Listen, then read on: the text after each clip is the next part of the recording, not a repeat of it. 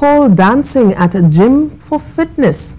JC Blandon of the organization LYF Experiences says it's one of the best exercises for the body and helps bring a satisfying element to your workout regimen.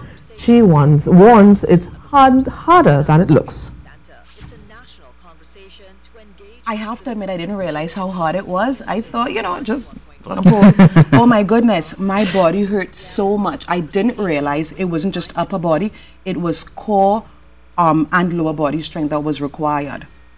Did it, loved it, got certified, and it's not just the physical exercise, but as a woman, I knew how I felt, and I wanted other women to experience that. Ms. Blandon says there's more to the training than just hard work, however, and women are uniquely set to take advantage of this. but yeah, a lot of people want to, and then we explain, you know, it's all about the fitness, and they, oh, we want the sensuality. So there's a market for it. So, yeah. and we embrace it. We and, embrace and anybody, no judgment